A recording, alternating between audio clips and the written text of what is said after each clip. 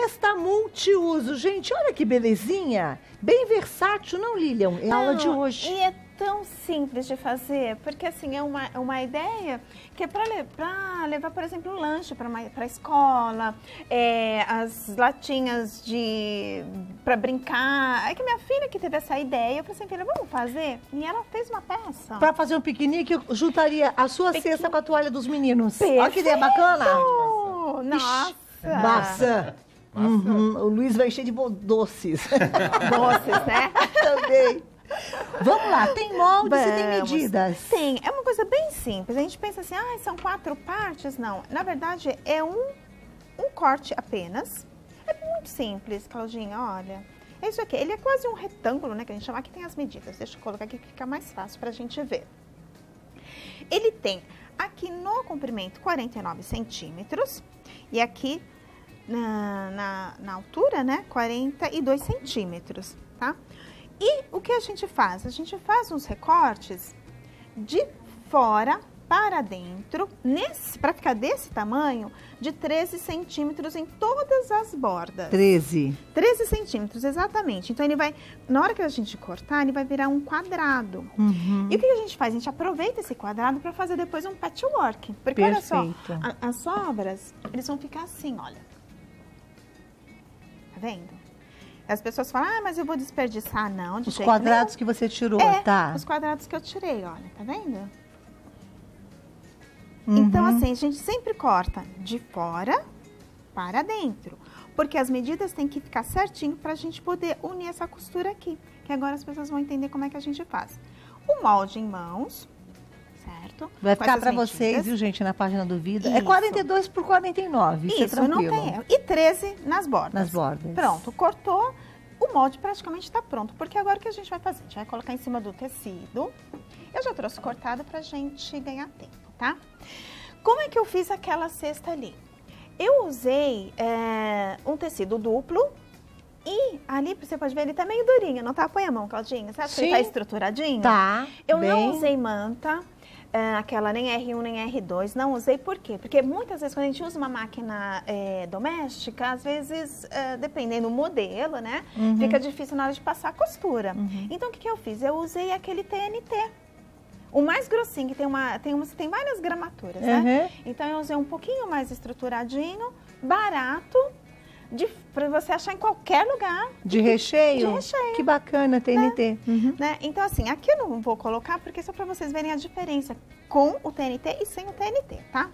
Então, aqui, olha. Tanto faz você cortar, é, riscar o, o molde no tecido no avesso ou no direito, não tem problema nenhum, porque nós vamos fazer a costura. Ó, tá vendo como ele encaixa aqui certinho? Uhum. Eu cortei duas vezes o tecido. Duas vezes. Por quê? Eu quero que ele fique bonitinho lá dentro, todo forradinho, uhum. tá bom? Risquei, cortamos, não precisamos mais do molde. Agora que nós vamos começar a fazer. Então não pensa, ah, mas você vai fazer tudo junto e depois desvirar? Não, nós vamos fazer um de cada vez. Tá. E como que nós vamos fazer isso? Unindo aqui. Olha, todas essas partes que a gente deixou em aberto, nós vamos costurar reta. Uma costurinha reta e simples, tá bom? Uhum. Nos quatro cantos, cantos, se repetem. Isso. E duas vezes, né? Porque nós temos duas, é, uma é de fora e a outra é a... De dentro. É a de dentro.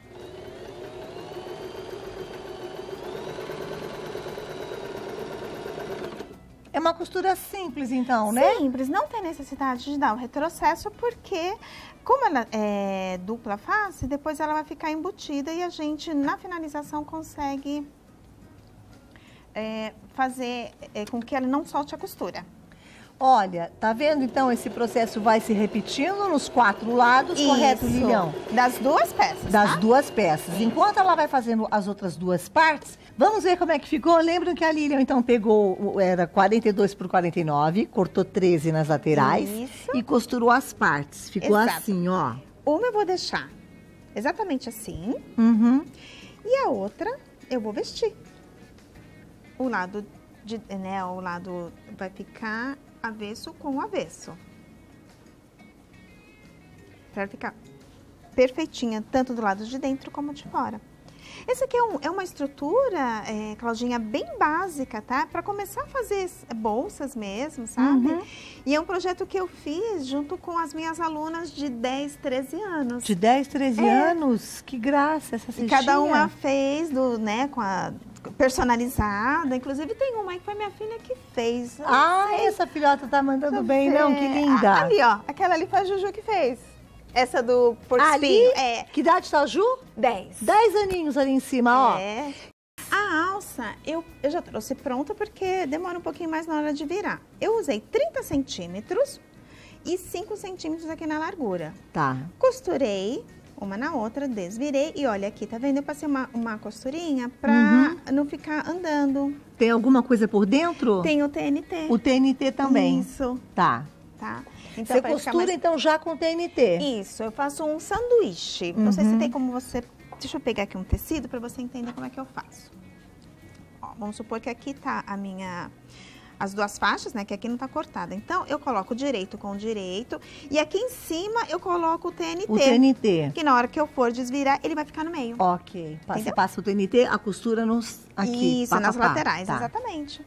Então, tem várias formas de se fazer. Essa é uma forma que eu acho bem simples e uhum. rápida, né? Bom, aí nós vamos fixar aqui a primeira alcinha. Tá vendo? Ela tá aberta. Eu fiz um sanduíche da alcinha. A gente dobra pra lá e põe a outra alcinha aqui, sempre com as mesmas, né? Na mesma direção para ficar bem proporcional. Você não fica uma para lá, outra para cá, não dá. Olha aqui para você ver a diferença que eu deixei.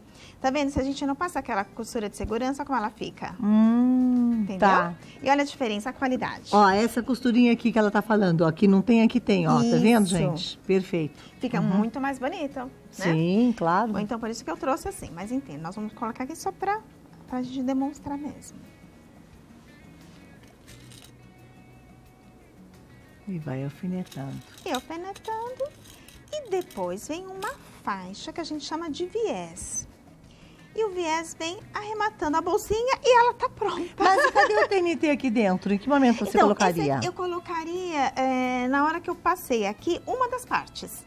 Aí eu costuro o TNT junto. Então, por exemplo, porque você pegou dois é, tecidos, Isso. né? Fez aquele tipo de cruz que até a gente chamou. Isso. E aí você, então aqui, quando você fosse costurar um no outro com o TNT, isso eu não entendi direito. Não, então, eu pegaria uma parte, é, é, foram duas partes que a gente duas cortou, partes, certo? certo? Então, uma eu reservo sem o TNT. É. A outra, o TNT vai ser igualzinho. Uhum. E aí, o que eu faço? Eu pego o TNT e o tecido, passo aqui na costura para segurar o TNT, para ele não ficar saindo do lugar. Entendi. E depois eu faço o mesmo processo. E aí você costura, que você não tem nem que virar. Não, não, ele já fica certinho. Aí vai quando aqui. a gente não vira, entra o viés. Exatamente. Entra o viés. Fala, merindinha, para ir lá?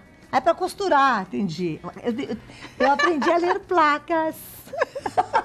Vamos lá. Olha aqui, ó, já tá dando uma carinha, né? Que Sim. gracinha. E agora a gente vai fazer.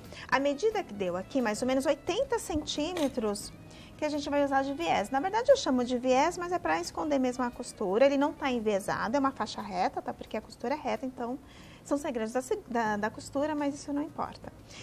E nós vamos fixar dessa, dessa seguinte forma, assim. Ou por aqui, ou do outro lado, tanto faz porque nós vamos desvirar, tá ok? Tá. Então, vou tirar aqui, para ficar melhor. Aqui tem um segredinho também, a gente deixa mais ou menos um centímetro, porque depois a gente vai fechar a peça aqui para ter um acabamento bem bonitinho, tá? Deixa eu colocar aqui embaixo. Pronto. Um pezinho de máquina. As sobras a gente tira depois, antes de fechar o nosso viés, tá? Tá.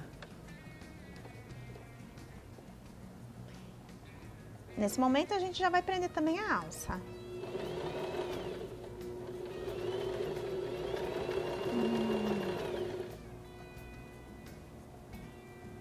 Com calma, porque senão vai sair do lugar. A gente tenta colocar no lugar para não ficar muita, dar muito erro.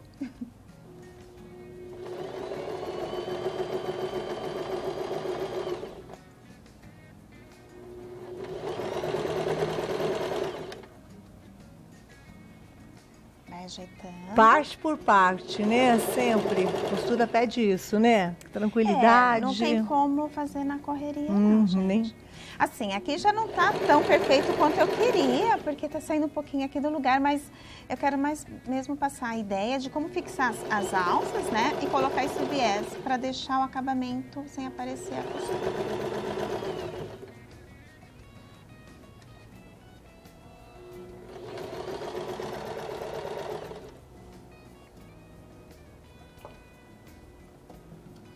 Aqui a gente dá uma esticadinha, ó, pro tecido ir pro lugar. São dicas, tá?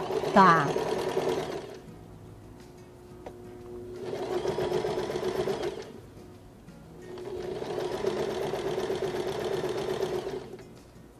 A gente tá chegando.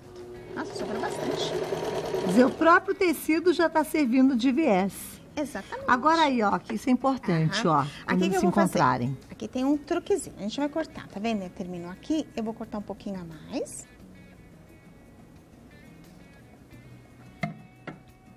Vou fazer uma dobrinha. Dobrou. Sabe aquele um centímetro que a gente deixou? Uhum. Agora eu vou encaixar ele aqui e vai ficar perfeitinho o acabamento. Entendeu? Uhum. Vai ter que dobrar direitinho.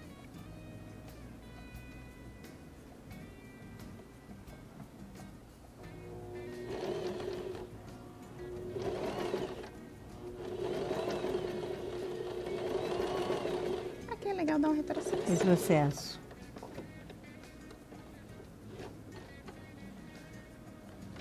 Cortador de pá. Praticamente está pronto, porque agora eu só vou colocar essa costura para dentro. Lilian, o que que falta? Então, praticamente a bolsa nós terminamos. Aqui eu Uhum. só vou demonstrar como é que eu fiz. Eu- nós aplicamos aquele viés que você viu, né? Aí o que eu fiz agora? Eu virei e alfinetei. E agora é só passar uma costura reta, todinha na borda, para chegar nesse resultado aqui. Quanto tinha o viés mesmo? É 80 centímetros. 80? Isso. Para esse projeto. Pra esse que tipo de quanto projeto. maior for ou menor, você vai diminuindo proporcionalmente. Então, Oit- sempre corto um pouquinho a mais. Oit- fazer Era uma faixa. Isso, 80 uma por faixa. quanto? Oit- Por 4 centímetros. 4, 80 por Isso, 4. Tá. Exatamente, tá? Gente, olha que belezinha. Agora, depois eu penso no seguinte, né? Quem quiser guardar pincéis ou coisa de maquiagem, aí no futuro começa a se aprimorar, faz as divisórias. Isso, não esse aqui é um projeto base que a gente Adorei. faz para iniciar, para começar a fazer uma bolsa. Entendi. Né? É isso aí.